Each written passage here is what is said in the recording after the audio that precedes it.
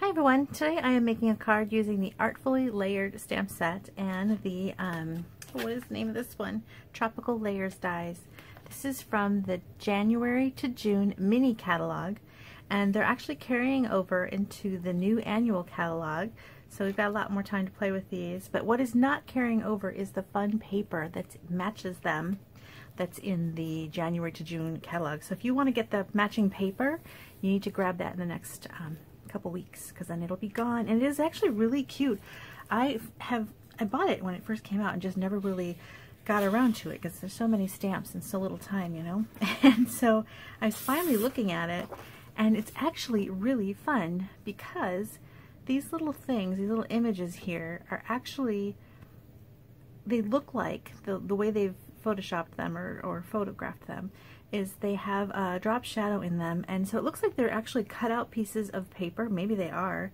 And um, then photographed and arranged so they look like they're layered which is why it's called artfully layered. So you've got this small drop shadow. So it's like someone created a scrapbook page and photoshopped it or something.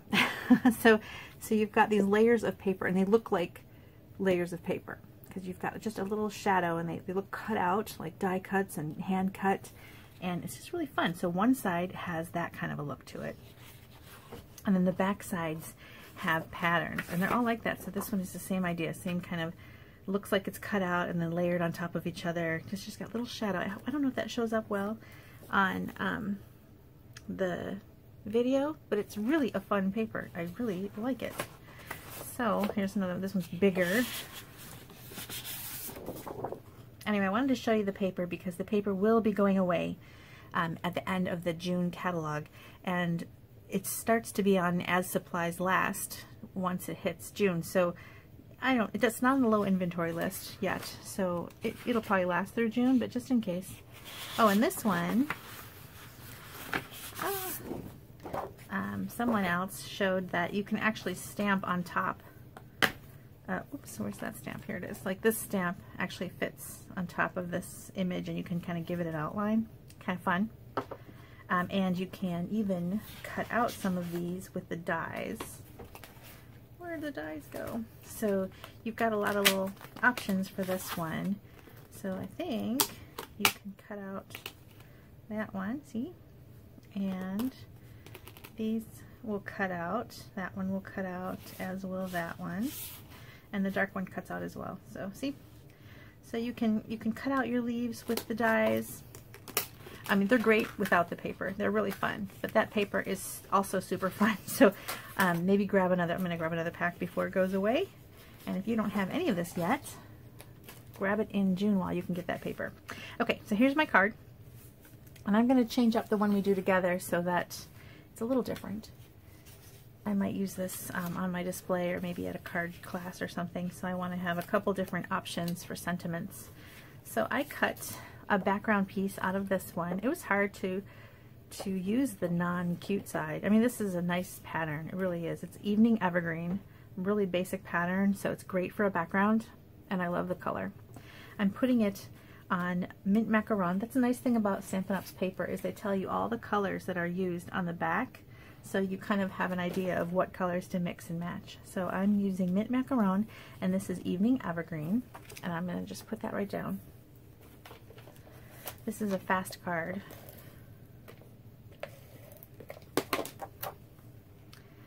Okay, and it's got a little bit of an edge around it, so my card base is um, five and a half by eight and a half, and then scored at four and a quarter. So then this is four by five and a quarter.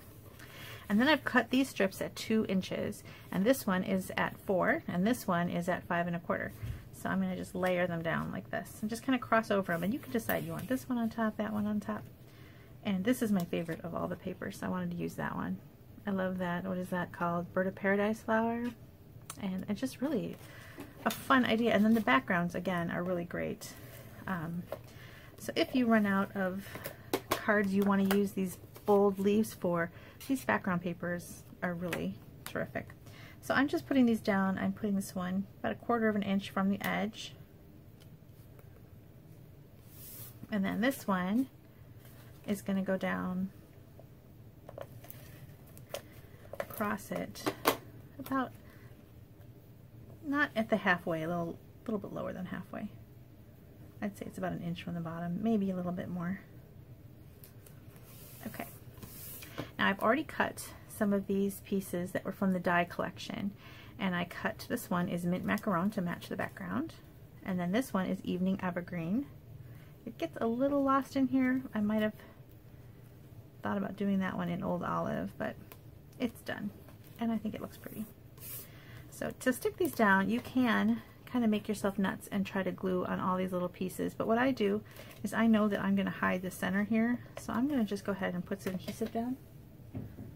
And then I'm just going to lay this sprig and put it down. And then I can add a little more adhesive and lay this sprig down.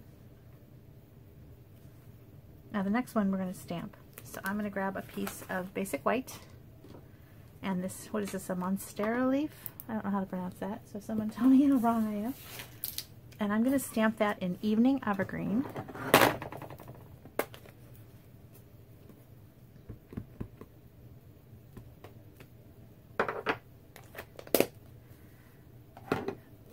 Okay, and then, let me clean that real quick.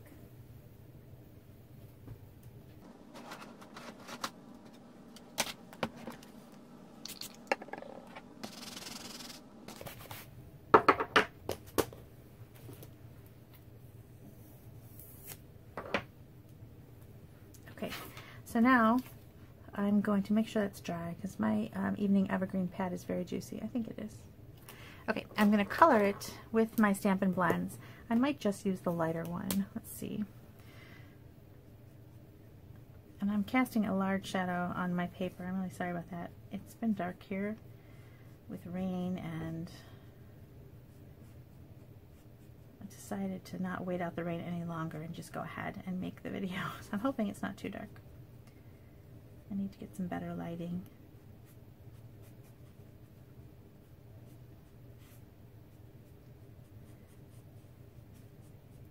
So I'm kind of being a little careful not to go over the evening evergreen, but I think it's pretty dry. It's not really smearing. I went in the line there a little bit.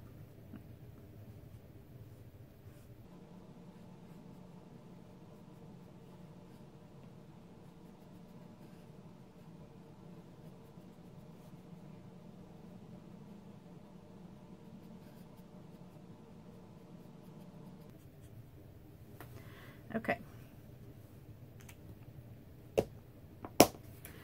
There is my big flower. And then I kind of am toying with an idea that I didn't do on my sample, but I'm going to do it on this one just because I want to try it.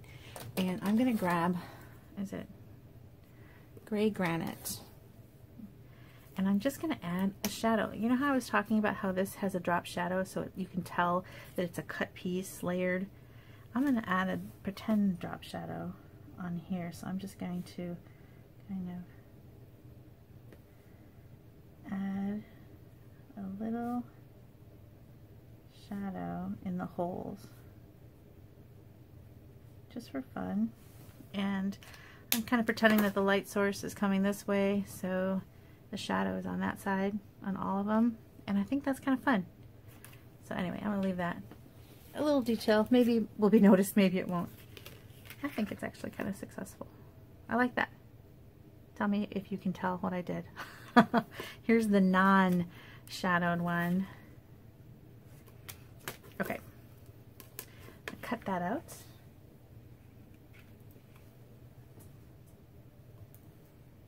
What did I do with my mini cutter? It was hiding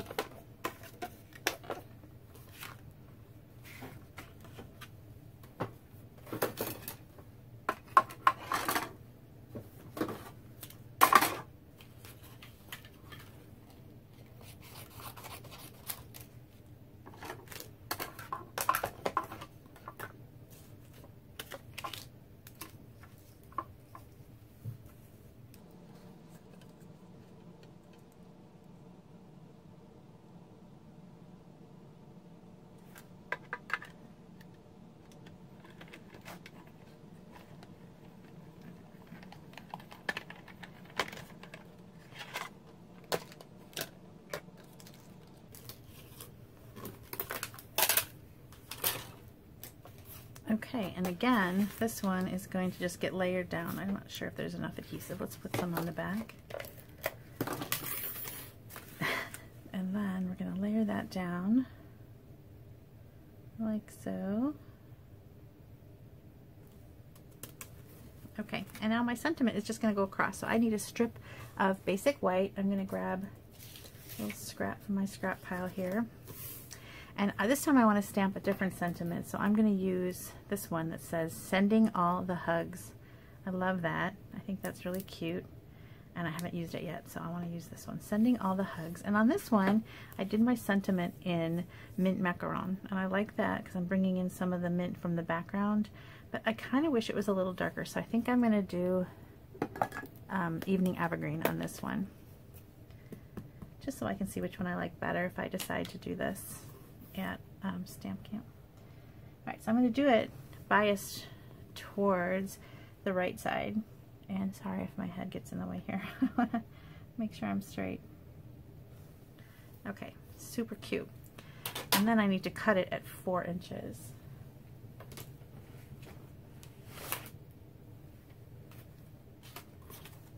Now this piece looks like about an inch and a half, is it? Oh, it's even more than that.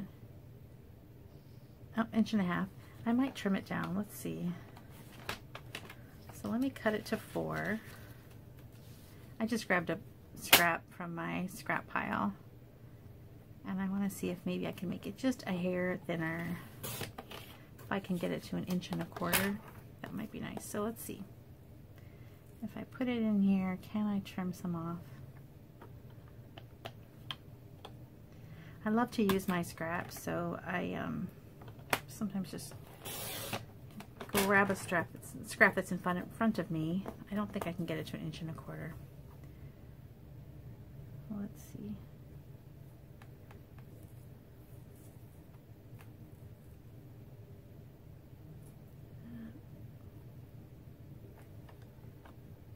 Uh, inch and a quarter is pushing it.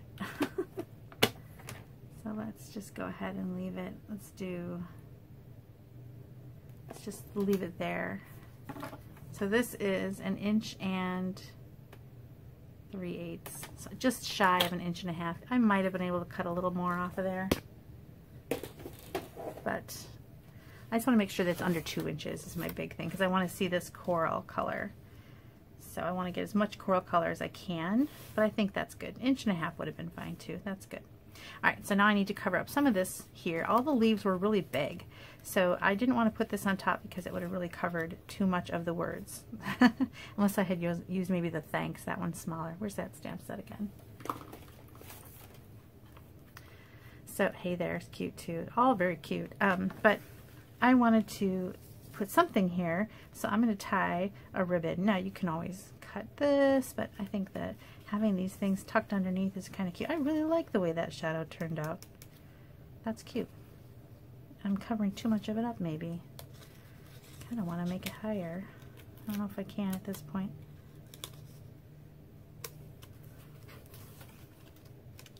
Yeah. Okay. So now I'm going to tie a ribbon around here. And on my sample, I used some baker's twine. And this is from a pack called, um, it's from that Game Day pack. It's got um, For the Win that came with three different color baker's twines. And so I'm going to show this as an option, but then I'm also going to bring this to camp if I do this card. I'm not, haven't decided yet. Um, I like that it's a little thicker. So I thought since this sentiment is a little bigger, maybe a thicker ribbon would be better.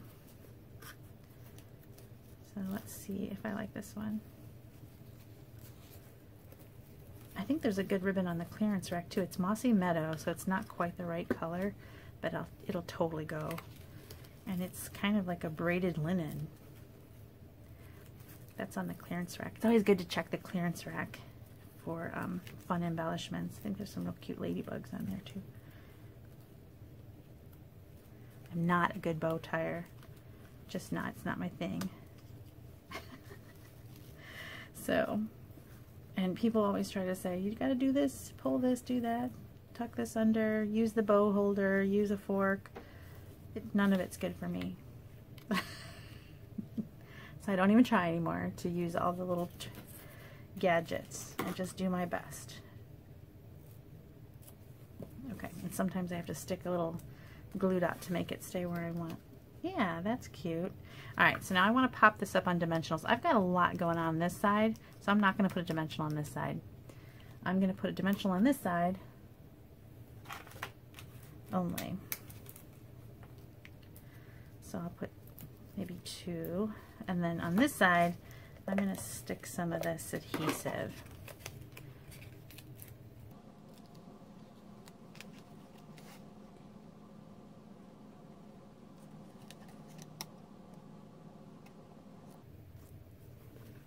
There, super cute, right? And then on the inside, I'm going to use just a piece of basic white. And then stick that down. I might maybe put, hmm, maybe let's put one of these little leaves down.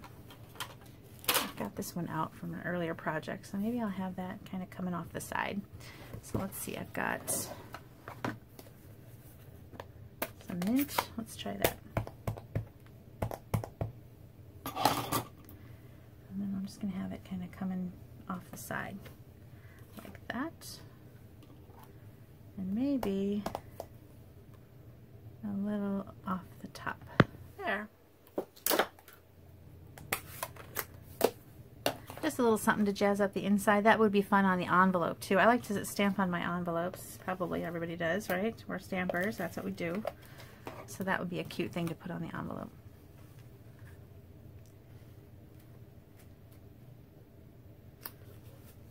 There you go that was fast. Oh, a couple of little things I wanted to add as an embellishment. I wanted to add some bling to it. And um, there's all kinds of nice little rhinestones and things. Just a little shine, something with sparkle. I happen to have, these are retired. They're um, the in color rhinestones. And now they have them in, they're called in color opal rounds. They're very similar. And I'm just going to grab the Evening Evergreen. So look, but any of the, and I'm going to use, this one is um, soft succulent, which is not the right green, but it's got that iridescent glowiness to it, and it's actually picking up all the colors around it because it's an iridescent um, rhinestone, so you can even use just the iridescent rhinestones. But I thought I would use these since I have them. And I'm just picking up a couple couple of the lighter green and the darker green, just to give a little sparkle in the light. It'll catch the light. Alright, I love that shadow. I'm the only one that maybe will notice it. Here, I'm going to put them close by each other. Tell me if you can see them. Maybe I'll put the light. Can you see the shadow? I think it's cute. It really highlights that that little cutout from that leaf. Anyway, it's fun. Thanks so much for watching. I hope you enjoy it. That was a fast one. I hope you'll take a look at this paper before it goes. And if you don't already have a Stampin' Up! demonstrator, I would love to be yours. I send thank you cards and I have a frequent buyer rewards program and all that stuff on my blog, bethspapercuts.com. Check it out. Thanks for watching. Bye.